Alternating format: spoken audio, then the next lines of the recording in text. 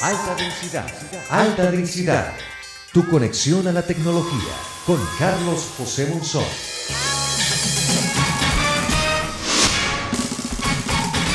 Hoy en nuestro menú tecnológico, Stadia, la visionaria plataforma de videojuegos de Google basada en la nube. Conoce las especificaciones y precio del nuevo mobile gaming Black Shark 2. Cámara convertible captura panorámicas inmersivas en 360 grados y también en 3D. Waze ya es compatible con atajos de Siri.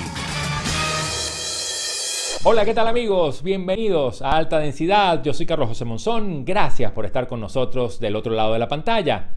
No es la primera vez que escuchamos sobre la llegada del streaming y de la nube como la revolución en el mundo de los videojuegos. La diferencia en esta oportunidad es que quien lo dice es nada más y nada menos que el gigante del streaming y de la nube, Google. En un nuevo intento por entrar en este lucrativo mercado, Google asegura que instalar juegos es cosa del pasado. La nueva generación del gaming no estará en una caja ni en consolas que limiten qué título jugar. Google presentó lo que será su nueva plataforma de videojuegos basada en la nube. Stadia está pensada para que cualquier usuario pueda jugar cualquier título con total fluidez y sin necesidad de costosos equipos, ni tediosas descargas, ni instalación de software. Todo se hace en directo, aprovechando la potencia de la nube de Google. Las ventajas del juego vía streaming son evidentes. Ya no tendrás que gastar dinero en una consola o en una PC para jugar a la máxima calidad porque el hardware está en la nube. Solo basta tener un dispositivo con el navegador Chrome y conexión a Internet para que la plataforma funcione. Esto significa que disfrutarás de juegos de alta calidad en cualquier equipo, tanto en computadoras como en dispositivos móviles, incluso también hasta en un televisor conectado a un Chromecast. Para su lanzamiento, la plataforma Stadia promete ofrecer juegos a una resolución de hasta 4K a 60 cuadros por segundo, con sonido envolvente y HDR, más adelante, admitirá resolución 8K a 120 cuadros por segundo. También tendrá soporte multiplataforma en lo que concierne al modo multijugador. Stadia será compatible con controles de videojuegos existentes, pero también tendrá su propio mando especial que vía Wi-Fi podrá conectarse directamente a los servidores de Google para garantizar una buena experiencia de juego sin retraso. El control Stadia podrá usarse fácilmente con cualquier dispositivo que hayas elegido en ese momento para acceder al título que quieras jugar. El control también tendrá un botón que integrará al asistente de Google, lo que será seguramente aprovechado por la creatividad de los desarrolladores. Stadia, la plataforma de juegos en streaming de Google, entrará en funcionamiento este mismo año y estará disponible inicialmente en Estados Unidos, Canadá, Reino Unido y Europa.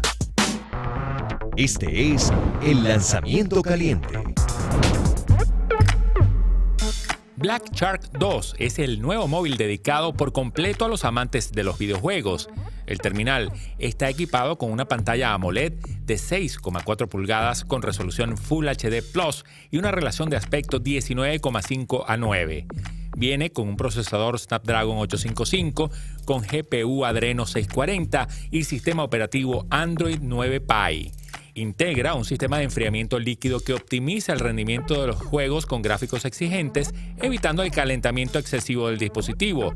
La batería es de 4.000 mAh con carga rápida. La pantalla del Black Shark 2, además de una gran calidad de imagen y tiempo de respuesta reducido al tocarla, cuenta con una característica especial. Es sensible a la presión.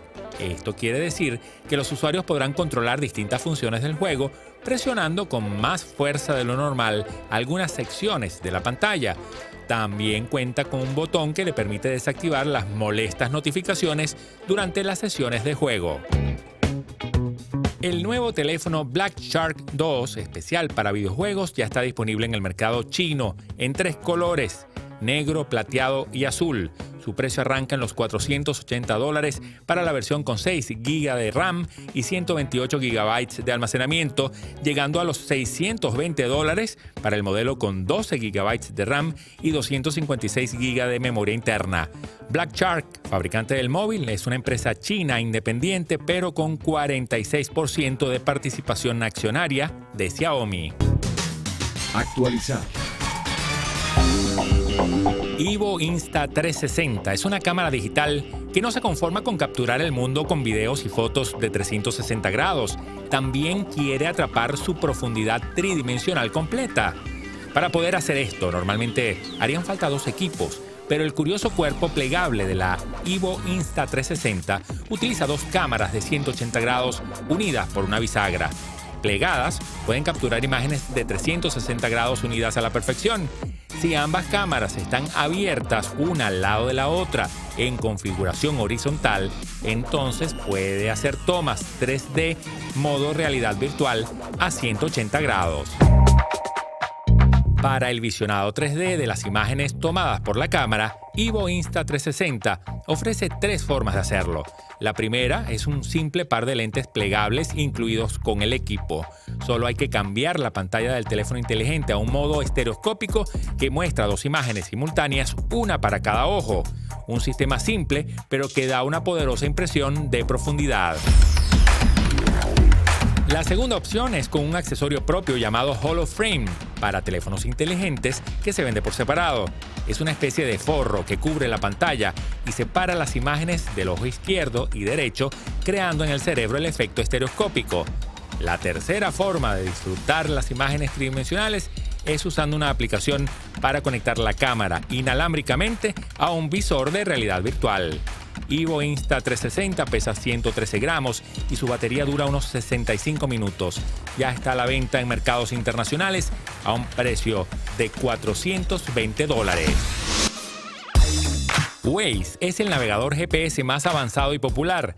Además de indicarnos la vía a seguir para llegar a nuestro destino, sabe mostrarnos las rutas menos congestionadas según el tráfico que hay en tiempo real. Sin duda, una muy buena opción para quienes ruedan por la ciudad en automóvil. En su constante búsqueda de mejorar la app, Waze anunció que ya es compatible con los atajos de Siri, es decir, con los comandos de voz de la asistente de Apple. Con iOS 12 en el iPhone o el iPad y con la versión 4.48 superior de Waze instalada, puedes comenzar a usar los atajos de Siri en la app. Para ello, solamente debes configurarlos la primera vez y a partir de ahí usarlos directamente con comandos de voz en Siri. Ahora es más fácil que nunca iniciar tu camino a casa, al trabajo o a donde quieras. Asegúrate de tener definido en Waze cuál es la dirección de tu trabajo y cuál es la dirección de tu casa para que la app te guíe de inmediato.